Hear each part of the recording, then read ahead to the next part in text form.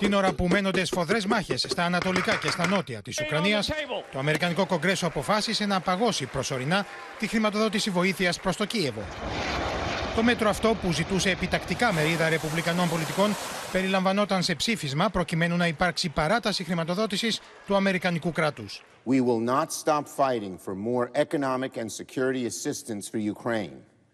Majorities in both parties support Ukraine aid. I do think that we should fund the Ukrainians. They're fighting the Russians so that we don't have to fight the Russians.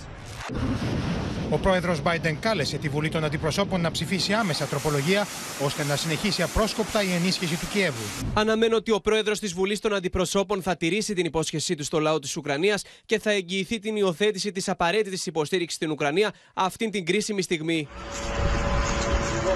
Την ίδια ώρα στη Ρωσία, οι αρχές ανακοίνωσαν πως η αεράμινα αναχέτησε δεκάδες ουκρανικά drones στην περιφέρεια του Κρασνοντάρ και του Σμολένσκ στα δυτικά της χώρας.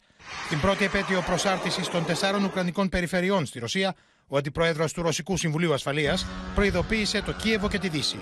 Η ειδική στρατιωτική επιχείρηση θα συνεχιστεί έως ότου καταστραφεί πλήρως το ναζιστικό καθεστώς του Κιέβου και απελευθερωθούν τα αρχικά ρωσικά εδάφη από τον εχθρό.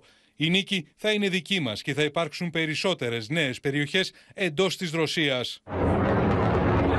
Στο Κίεβο, οι αρχές κατηγόρησαν τις ρωσικές δυνάμεις πως έπληξαν με πυράβλους και ντρόουν στη Χερσόνα, το Χάρκοβο και τη Ζαπορίζια, με αποτέλεσμα να τραυματιστούν τουλάχιστον 10 άνθρωποι. Ukraine says Russia launched at least 50 drones in a new wave of attacks overnight. Military officials say 30 drones were shot down, but others hit an infrastructure facility, causing a massive fire.